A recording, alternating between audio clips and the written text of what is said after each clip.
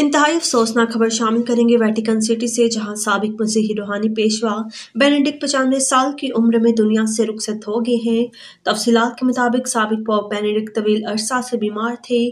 ताहम आज सुबह साढ़े नौ बजे वो दुनिया से रुखसत हो गए।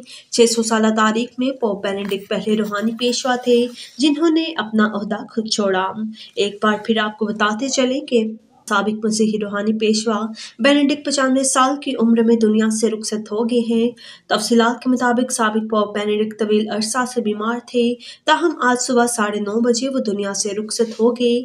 छह सौ साल तारीख में पॉप बेनेडिक पहले रूहानी पेशवा थे, जिन्होंने अपना अहदा खुद छोड़ा।